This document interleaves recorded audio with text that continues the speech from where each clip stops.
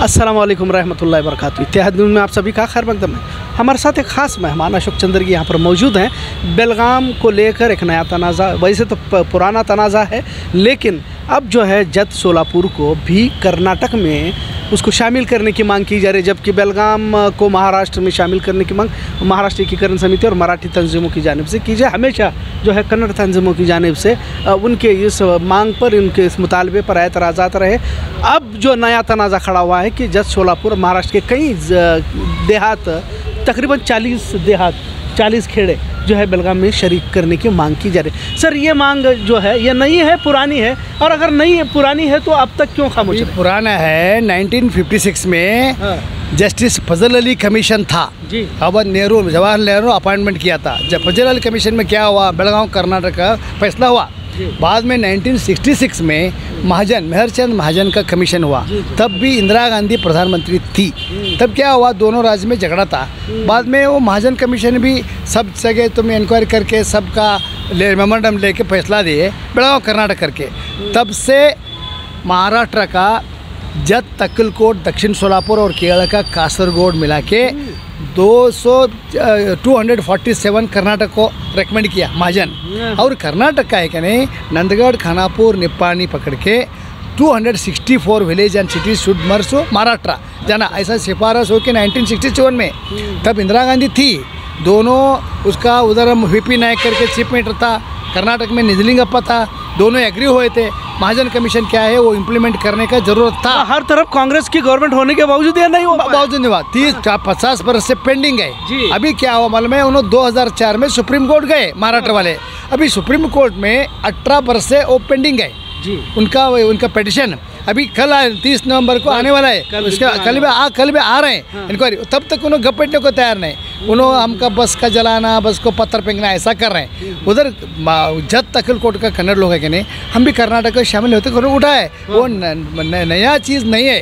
वो हमारा chief minister Basavaraj Bommai support किया। वो सपोर्ट किया तो भी महाजन कमीशन के मुताबिक से ये हल होना चाहिए। मगर बोम्मई बोलेंगे फडणवीस बोलेंगे शरद पवार बोलेंगे वो दूसरी बात है। मगर महाजन रिपोर्ट पेंडिंग कहाँ है? यूनियन दिल्ली में पेंडिंग। वो अनुष्ठान हुआ तो ये सब अदला बदली होने वाला नहीं तो एहसास रहने वाला। सुप्रीम कोर्ट में क्या होता है हम इंतज़ार कर रहे हैं। सुप्रीम कोर्ट सुप्रीम कोर्ट में क्या होगा? ऐसा हम इंतज़ार कर रहे हैं। नहीं अगर फैसला मान लो कि बेलगाम को महाराष्ट्र में शामिल करने का अगर दिया गया जैसा कि मांग की जाती है पीछे तो आप उस वक्त कन्नड़ तंजीमों का क्या रहेगा देखो जी हम एक बात बरते तुम एक बात कर सकते हैं। मगर उसको महाजन हवाल करके है क्या तो हल होने गए तो महाजन हवाल प्रमाणे होना। अच्छा। वो किसी का पर्सनल ओपिनियन अलग वो माँ मांग रहे हैं में हमको होना हमें पानी होना हमको ऐसा नहीं हो सकते हैं। उसको इधर है फजल अली कमीशन क्या हुआ? 1956 में फजल अली कमीशन रिपोर्ट दिया सो है 66 में महाजन कमीशन दिया सो है क्या तो बेस होना? अजमा सुनो मांग रहे का मांगने हैं तो देने को आज नहीं आ सकते हैं। महाजन अहवाल प्रमाणे गड़ी तंटा हल होना चाहिए। नहीं गड़ी टंटा हल होना चाहिए, लेकिन जो साठ, सत्तर साल से पिछले हम देख रहे हैं कि एक नवंबर काला दिन मनाया जाता है, जबकि राज्योत्सव दिन कन्नड़ तंजीमों की जानब से, कन्नड़ लोगों की जानब से कर्नाटक के सरकारी तौर पर भी मनाया जाता है। लेकिन अगर ये आप जैसा बता रहे हैं कि महाजन अहवाल के ज़रिए से ही हल होना है, और अदालत का फैसला महाजन हवाल के मुताबिक ही आता है, और इस तरह से फैसला पहले भी हुआ है, अगर नहीं होता है तो या तो फिर ये लोग जो एहतजाज करते हैं, बंद करते हैं और मांग करते हैं, फिर ये कहाँ तक जायज़ है? ओ वो कर्नाटक सरकार का दुर्बल और वीकनेस है। वो लोगों को इधर ऐसा अलाउ नहीं करना। हम दस पंद्रह बीस वर्ष से हम मांग कर रहे हैं। वो लोग कर्नाटक में रह के इधर पानी पी के इधर खाना खा के हमारे खिलाफ कैसा लड़ सकते हो उन चाहे चाहे तो उन्हें महाराष्ट्र जान दे। चाहे तो उधर उधर जाके मुंबई में करें सांगली ब्रज में करें दे। हमारा गवर्नमेंट का वीकनेस जो लोग बेंगलुरु में अधिकार में है वो लोगों का वीकनेस है। एमईएस बैन करने का कर, कर, करने का करूँ हमारा ओल्ड डिमांड है। अभी तक नहीं सुना रहे क्या मराठी वोट उनको होना? बीजेपी वाले को मराठी वोट होना। बीजेपी रहने कांग्रेस रहने वो मराठी वोट का ऊपर आँख रख के उन लोग ऐसा कर रहे हैं, लूज छोड़ रहे हैं। नहीं तो उनको मराठी वोट कैसा मिलना? Vote bank politics.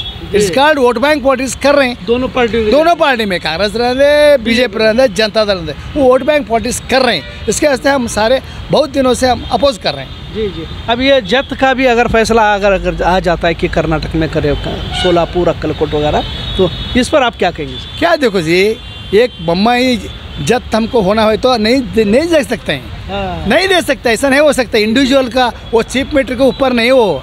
फिर महाजन कमीशन का आते हैं। महाजन कमीशन हमका मंजूर है करके विधानसभा विधान परिषद ने हम रेजोल्यूशन पास किया सो है 1967 से। बम्बई इंडिविजुअल ओपिनियन को ओपिनियन को कुछ भी कीमत नहीं। एक बात सुनो कि कासरगोड भी आना। महाजन हवाला प्रमाण में केरल का कासरगोड भी कर्नाटक बेलगाम में आना। कर्नाटक का बेलगा कानापुर निप्पाणी नंदगढ़ महाराष्ट्र को जाना। बम्बई बम्बई बोल सकते पॉलिटिकली इतने बोल सकते हैं। मगर ये हल रहने का है तो वो बैठ के केंद्र सरकार, यूनियन गवर्नमेंट, मोदी गवर्नमेंट बैठ के महाजन हवाल प्रमाण इन्हें हल करना चाहिए। नहीं तो नहीं हो सकता। बहुत बहुत शुक्रिया। ये थे अशोक चंद्र जी साहब, उन्होंने बहुत सारी बातें बताई। यहाँ तक कि अगर महाजन अहवाल को इम्प्लीमेंट किया जाए तो कासरगोड भी जो है कर्नाटक में शुमार होना चाहिए। उसी के साथ जत अक्कलकोट और शोलापुर भी इसमें आना चाहिए। यानी कि एक तरह से नई बात तो है, लेकिन अशोक चंद्र जी कह रहे हैं कि ये बहुत पुरानी बात है और अगर इंसाफ होना चाहिए तो अदालत के यहाँ पर कल सुनवाई है। लिहाजा आज फिर से एक बार कन्नड़ कन्नड़ मराठी और कर्नाटक, महाराष्ट्र का तनाज़ा उभरता हुआ नज़र आ रहा है। लेकिन इसके पीछे कुछ तो भी सियासी मफाद हासिल करने की कोशिश की जा रही है। इतिहाद देखने के लिए शुक्रिया। अल्लाह जिस तरह से पिछले कई सालों से बेलगाम शहर में राज्योत्सव के वक्त काला दिन मनाया जाता है महाराष्ट्र एकीकरण समिति और मराठी तंजीमों की जानब से। लेकिन एक दूसरा पहलू भी यहाँ पर देखने को मिलता है कि जत महाराष्ट्र से यहाँ पर कई सारे नौजवान यहाँ पर आए हुए हैं और उनका कहना है कि जत को जो है कर्नाटक में दाखिल किया जाए कर्नाटक में शुम, शम, शुमाल किया जाए। लिहाजा हमारे साथ मौजूद है। सर ये जिस तरह से एक नया अब तनाज़ा जिसे कह सकते हैं वैसे तो महाजन अहवाल की बात कही जाती है अ, अक्कलकोट सोलापुर और जत भी जो है, उस हिसाब से बेलगाम में शरीक होना चाहिए। तो इसे, पस मंज़र में आप क्या क्या कहना चाहेंगे? और क्या वाकई वहाँ पर कन्नड़ लोगों को तकलीफ़ है? क्या है? ಜತ್ತು ಅಕ್ಕಲ್ಕೋಟು ಗಡಿ ಭಾಗದ ಕನ್ನಡಿಗರಿಗೆ ಐವತ್ತು ವರ್ಷಗಳಿಂದ ಮಹಾರಾಷ್ಟ್ರ ಸರ್ಕಾರ ಅವರಿಗೆ ಕನಿಷ್ಠ ಮೂಲಭೂತ ಸೌಕರ್ಯಗಳನ್ನು ಕೊಡದೆ ಅವ್ರಿಗೆ ವಂಚನೆ ಮಾಡಿರುವಂಥದ್ದು ನಾನು ಈ ಸಂದರ್ಭದಲ್ಲಿ ಖಂಡಿಸ್ತಾ ಇದ್ದೀನಿ. ಐವತ್ತು ವರ್ಷಗಳಿಂದ ಮಹಾರಾಷ್ಟ್ರದ ಎಲ್ಲ ಸರ್ಕಾರಗಳು ಗಡಿ ಭಾಗದ ಕನ್ನಡಿಗರನ್ನ ನಿರ್ಲಕ್ಷ್ಯ ಮಾಡಿರುವ ಕಾರಣಕ್ಕಾಗಿ ಅವರು ಇವತ್ತು ಕರ್ನಾಟಕಕ್ಕೆ ನಾವು ಸೇರ್ತೀವಿ ಅನ್ನೋಂಥ ಪಂಚಾಯತಿ ಠರಾವುಗಳನ್ನು ಪಾಸ್ ಮಾಡಿ ಕರ್ನಾಟಕಕ್ಕೆ ನಾವು ಬರ್ತೀವಿ ಅಂತೇಳಿ ಮುಖ್ಯಮಂತ್ರಿಗಳಿಗೆ ಮನವಿಯನ್ನು ಕೊಟ್ಟಿದ್ದಾರೆ. ಮಾನ್ಯ ನಮ್ಮ ಕರ್ನಾಟಕದ ಮುಖ್ಯಮಂತ್ರಿಗಳು ಆ ಮನವಿಯನ್ನು ಪುರಸ್ಕಾರ ಮಾಡಿ ಅವರನ್ನು ಕಾನೂನುಬದ್ಧವಾಗಿ ಕರ್ನಾಟಕಕ್ಕೆ ಸೇರಿಸ್ಕೋಬೇಕು ಅಂತೇಳಿ ಈಗಾಗಲೇ ಕಾನೂನು ಪ್ರಕ್ರಿಯೆಯನ್ನು ಪ್ರಾರಂಭ ಮಾಡಿದ್ದಾರೆ. ಹಾಗಾಗಿ ನಾನು ಕೇಳೋದಿಷ್ಟೇ, ಕನಿಷ್ಠ ಪಕ್ಷ ಒಂದು ರಾಜ್ಯದಲ್ಲಿ ಯಾವುದೇ ಭಾಷಿಕರಿರಲಿ ಅವರು. ಒಂದು ರಾಜ್ಯ ಕರ್ನಾಟಕದಲ್ಲೂ ಮರಾಠಿಗರಿದ್ದಾರೆ, ತೆಲುಗುರಿದ್ದಾರೆ, ತಮಿಳರಿದ್ದಾರೆ, ಬೇರೆ ಬೇರೆ ಭಾಷಿಕರು ನಮ್ಮ ಕರ್ನಾಟಕದಲ್ಲಿ ಇದ್ದಾರೆ. ಆದರೆ ಯಾವತ್ತೂ ಕರ್ನಾಟಕ ಸರ್ಕಾರ ಮಹಾರಾಷ್ಟ್ರ ಸರ್ಕಾರದ ರೀತಿಯಾಗಿ ದುಷ್ಟತನದಿಂದ ಆ ಭಾಷಿಕರ ಜೊತೆ ನಡ್ಕೊಂಡಿಲ್ಲ.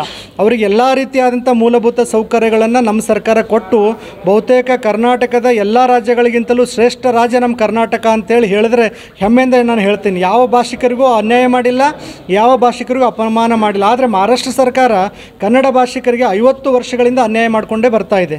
ಹಾಗಾಗಿ ಇವತ್ತು ಅವರು ಕರ್ನಾಟಕಕ್ಕೆ ಬರಬೇಕು ಅಂತ ತೀರ್ಮಾನ ತಗೊಂಡಿದ್ದಾರೆ. ಇದು ಕರ್ನಾಟಕ ಏಕೀಕರಣ ಚಳುವಳಿಯ ಎರಡನೇ ಭಾಗ ಇದು. ಎರಡನೇ ಕರ್ನಾಟಕ ಏಕೀಕರಣ ಚಳುವಳಿಯನ್ನು ಜತ್ ಭಾಗದ ಕನ್ನಡಿಗರು ಪ್ರಾರಂಭ ಮಾಡಿದ್ದಾರೆ. ಅವರು ಆ ಚಳುವಳಿಗೆ ಕರ್ನಾಟಕ ನವನಿರ್ಮಾಣ ಸೇನೆ ನಿರಂತರವಾಗಿ ಬೆಂಬಲ ಕೊಡುತ್ತೆ. ಕರ್ನಾಟಕ ಸರ್ಕಾರನೂ ಆ ಚಳುವಳಿಗೆ ಬೆಂಬಲ ಕೊಡುತ್ತೆ ಅನ್ನೋ ಭರವಸೆ ನಮಗಿದೆ. ಇನ್ನೂ ತನಕ ಮಾಡಲಿಲ್ಲ, ಈಗ ಯಾಕೆ ಸರ್? Pilotalca. ಒಂದು ಐವತ್ತು ವರ್ಷಗಳಿಂದ ನಮಗೆ ಅವಕಾಶಗಳು ಇವತ್ತು ನಾಳೆ ಕೊಡ್ಬೋದು. ನಮ್ಮ ಸರ್ಕಾರ ನಮ್ಗೆ ಕಷ್ಟಕ್ಕೆ ಸ್ಪಂದಿಸ್ಬೋದು. ನಮಗೆ ಒಳ್ಳೆ ರಸ್ತೆ ಕೊಡ್ಬೋದು. ಒಳ್ಳೆ ಆರೋಗ್ಯಕ್ಕೆ ಹಾಸ್ಪಿಟ್ಲ್ ಕಟ್ಟಿಸ್ಬೋದು. ಒಳ್ಳೆ ಶಿಕ್ಷಣಕ್ಕೆ ಶಾಲೆಗಳನ್ನು ಕೊಡ್ಬೋದು ಅಂತೇಳಿ ಐವತ್ತು ವರ್ಷಗಳಿಂದ ಕಾಯ್ದಿದ್ದಾರೆ ಅವರು. ಈಗ ಇನ್ನು ಯಾವತ್ತು ಆಗಲ್ಲ ಅನ್ನುವಂಥ ನಿರಾಶೆ ಭಾವನೆ ಅವ್ರ ಮನಸ್ಸಲ್ಲಿ ಬಂತು. ಹಾಗಾಗಿ ಅವ್ರು ಇವತ್ತು ನಾವು ಅಲ್ಲಿ ಇರೋದು ಬೇಡ. ನಾವು ಯಾವತ್ತಿದ್ರು ಕರ್ನಾಟಕದವರು ನಮ್ಮ ತಾಯಿ ಕನ್ನಡತಿ, ನಮ್ಮ ಮಾತೃಭಾಷೆ ಕನ್ನಡ, ನಾವು ಕರ್ನಾಟಕದ ಪರವಾಗಿ ಇರಬೇಕು, ಕರ್ನಾಟಕಕ್ಕೆ ಹೋಗಬೇಕು ಅಂತ ಸಂಕಲ್ಪವನ್ನು ಮಾಡಿ ನಿಶ್ಚಯ ಮಾಡಿ ಬಂದಿದ್ದಾರೆ ಅವರು नाड़े सर सुप्रीम कोर्ट का फैसला कल आने वाला है अगर मान लो कि अगर आपके हित में नहीं आया तो क्या करें? ಕರ್ನಾಟಕ ನನಗೆ ನನಗೆ ಮಾಹಿತಿ ಇರೋ ಪ್ರಕಾರ ನಾಳೆಯ ತೀರ್ಪು ಕರ್ನಾಟಕದ ಪರವಾಗೇ ಬರುತ್ತೆ ಕರ್ನಾಟಕ ಸರ್ಕಾರದ ಪರವಾಗೇ ಬರುತ್ತೆ ಅನ್ನೋ ಭರವಸೆ ನಮಗಿದೆ ಒಂದು ವೇಳೆ ಕರ್ನಾಟಕದ ವಿರುದ್ಧವಾಗಿ ಬಂದರೆ ಆ ತೀರ್ಪನ್ನು ಕನ್ನಡಿಗರು ಬಹಿಷ್ಕಾರ ಹಾಕುವುದರ ಮೂಲಕ ನಾವು ಮತ್ತೆ ಕಾನೂನು ಹೋರಾಟಕ್ಕೆ ನಾವೆಲ್ಲರೂ ಸೇರಿ ಇಷ್ಟು ದಿನ ಬರೀ ಕರ್ನಾಟಕ ಸರ್ಕಾರ ಅಷ್ಟೇ ಹೋರಾಟ ಮಾಡ್ತಾ ಇತ್ತು.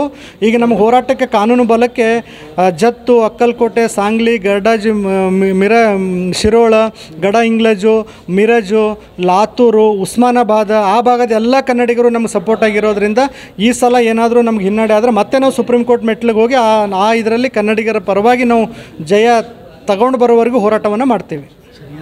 महाराष्ट्र जत से कई सारे यहाँ पर नौजवान आए हुए हैं वो भी चाहते हैं कि अ, जत अक्कलकोट सोलापुर अ, कर्नाटक में शामिल किया जाए सर आप वहाँ पर आपके साथ क्या ज़्यादती की गई ನಮಗೆ ಅವ್ರು ನೀರಿನ ವ್ಯವಸ್ಥೆ ಕೊಟ್ಟಿಲ್ಲ ರೀ ಮತ್ತು ರಸ್ತೆ ವ್ಯವಸ್ಥೆ ಇಲ್ಲ ದವಾಖಾನೆ ವ್ಯವಸ್ಥೆ ಇಲ್ಲ ಅದ್ರ ಸಲುವಾಗಿ ನಾವು ಕನ್ನಡ ಬರ್ಬೇಕಂತ ವಿಚಾರ ಮಾಡಿದ್ದೆವು आपके साथ वहाँ पर ज़्यादती की जाती है अ, अत्याचार ಮಾಡ್ತಾರೆ ಅವರು ಅವ್ರು ಏನು ಕೆಲಸ ಮಾಡಲ್ಲ ರೀ ಒಂದು ಅಲ್ಲಿ ಮಾಸ್ಟರ್ ಜೊತೆಗೆ ಹೋದ್ರೆ ನಮ್ಗೆ ಅವರು ಕನ್ನಡ ಮಾತಾಡ್ತೀವಿ ನಾವು ಮರಾಠಿ ಮಾತಾ ಇವತ್ತು ಕೆಲಸಕ್ಕೆ ಹೋದ್ರೆ ನಾಳೆಗೆ ಬರ್ತಾರೆ ಅವರು.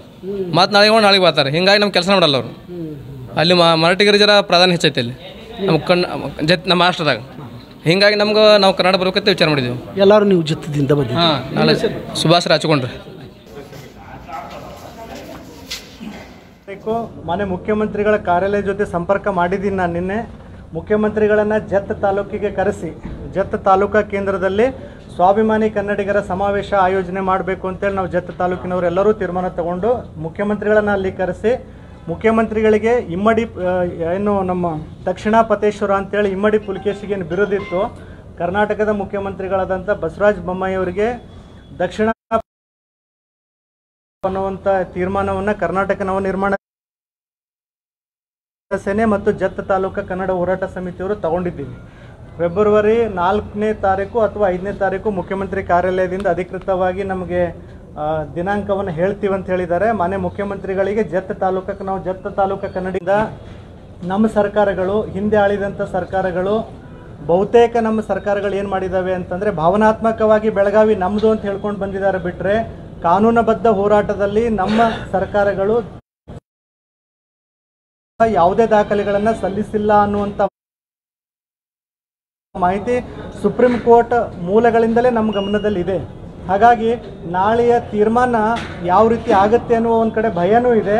ಒಂದು ಕಡೆ ನಾನು ಮೊನ್ನೆ ನಮ್ಮ ನ್ಯಾಯಮೂರ್ತಿ ಶಿವರಾಜ್ ಪಾಟೀಲ್ ಅವರನ್ನ ಗಡಿ ಆಯೋಗಕ್ಕೆ ಅಧ್ಯಕ್ಷರನ್ನ ಮಾಡಿದ್ರಿಂದ ಎಲ್ಲೋ ಒಂದು ಕಡೆ ಆಶಾವಾದಲ್ಲಿ ನಮ್ಮ ಕರ್ನಾಟಕದ ಪರವಾಗಿ ಸುಪ್ರೀಂ ಕೋರ್ಟಿಗೆ ಭಾವನಾತ್ಮಕ ಭಾಷಣ ಬೇಕಾಗಲ್ಲ. ಸುಪ್ರೀಂ ಕೋರ್ಟಿಗೆ ಬೇಕಾಗಿರುವಂಥದ್ದು ಅಧಿಕೃತವಾದಂಥ ದಾಖಲೆಗಳು.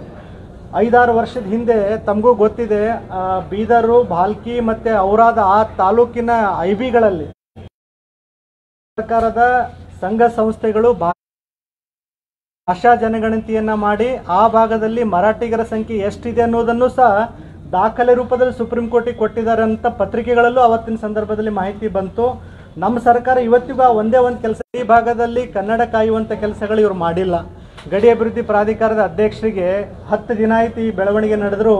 ಎಲ್ಲೋ ಒಂದು ಕಡೆ ಗಡಿ ಅಭಿವೃದ್ಧಿ ಪ್ರಾಧಿಕಾರದ ಅಧ್ಯಕ್ಷರು ಬಂದು ಗಡಿ ಭಾಗದ ಸಮಸ್ಯೆಗಳ ವಿಚಾರದಲ್ಲಿ ಕರ್ನಾಟಕದ ಪರವಾಗಿ ಹೇಳಿಕೆ ಕೊಡುವಂಥ ಕೆಲಸಗಳು ಇವತ್ತಿನಿಂದಲೇ ಆಗಿಲ್ಲ, ಅದು ಆಗಬೇಕಾಗಿತ್ತು. ಪ್ರಾಧಿಕಾರ ರಚನೆ ಆಗಿರೋದೇ ಇದೇ ಉದ್ದೇಶಕ್ಕಾಗಿ. ಗಡಿ ಭಾಗದ ಕನ್ನಡಿಗರ ರಕ್ಷಣೆಗಾಗಿ ಹಿತರಕ್ಷಣೆಗಾಗಿ ಮಾಡಿರುವಂಥದ್ದು ಎಲ್ಲೋ ಒಂದು ಕಡೆ ನಾಲ್ಕು ಪುಸ್ತಕ ಕೊಟ್ಟೆ, ಒಂದು ಪೆನ್ ಕೊಟ್ಟೆ, ಒಂದು ಗಡಿಯಾರ ಕೊಟ್ಟೆ ಅನ್ನೋದು ಕನ್ನಡ ಅಭಿವೃದ್ಧಿ ಶಾಲೆಗೆ ಒಂದು ಎರಡು ಲಕ್ಷ ದುಡ್ಡು ಕೊಟ್ಟೆ ಅಂತ ಹೇಳ ಹೇಳೋದು ಗಡಿ ಕನ್ನಡ ಗಡಿ ಅಭಿವೃದ್ಧಿ ಪ್ರಾಧಿಕಾರದವ್ರದ್ದು ಮುಖ್ಯ ಕರ್ತವ್ಯ ಅಲ್ಲ. ನೀವು ದಯವಿಟ್ಟು ಸರ್ಕಾರದ ಪ್ರಾಧಿಕಾರಗಳಿದ್ದಾವೆ ಮಾಡೋದಾದರೆ ಚೆನ್ನಾಗಿ ಕನ್ನಡದ ಕನ್ನಡಿಗರ ಅಭಿವೃದ್ಧಿಗಾಗಿ ಮಾಡೋದಾದ್ರೆ ಅವು ಇರಲಿ, ಇಲ್ಲಾಂದ್ರೆ ಅದು ಮುಚ್ಚಿಬಿಟ್ರೆ ಸರ್ಕಾರಗಳು. ಅದರಿಂದ ಯಾವುದು ಕನ್ನಡಿಗರ ಗಡಿನಾಡ ಕನ್ನಡಿಗರಿಗೆ ಉಪಯೋಗ ಮಾಡಲೇ ಇಲ್ಲ, ಮಾಡಬೇಕಾಗತ್ತೆ. ನಾಳೆ ದಿನ ಏನಾದರೂ ವ್ಯತಿರಿಕ್ತ ತೀರ್ಪು ಬಂದರೆ, ಏನಾದರೂ ರಾಜ್ಯದಲ್ಲಿ ಅನಾಹುತಗಳು ನಡೆದ್ರೆ ಅದಕ್ಕೆ ನಮ್ಮ ಸರ್ಕಾರ ಹೊಣೆ ಹೊರಬೇಕಾಗುತ್ತೆ. ಯಾಕಂದರೆ ನೀವು ಮಾಡೋದು ತಪ್ಪಿಗೆ ನೀವು ಅನುಭವಿಸ್ಲೇಬೇಕಾಗುತ್ತೆ. ಯಾವುದೇ ಕಾರಣಕ್ಕೂ ಬೆಳಗಾವಿ ವಿಚಾರದಲ್ಲಿ ಬೆಳಗಾವಿ ಗಡಿ ವಿಚಾರಕ್ಕೆ ಸಂಬಂಧಪಟ್ಟಂಗೆ ಕನ್ನಡಿಗರ ವಿರುದ್ಧ ತೀರ್ಪು ಏನಾದರೂ ಬಂದರೆ ಅದು ನಾಳೆ ದಿನ ದೊಡ್ಡ ಕ್ರಾಂತಿಯನ್ನು ಖಂಡಿತ ಆಗುತ್ತೆ ಅನ್ನುವಂಥ ಎಚ್ಚರಿಕೆ ಮಾತನ್ನು ಈ ಸಂದರ್ಭದಲ್ಲಿ ನಾನು ಹೇಳ್ತಾ ಇದ್ದೀನಿ.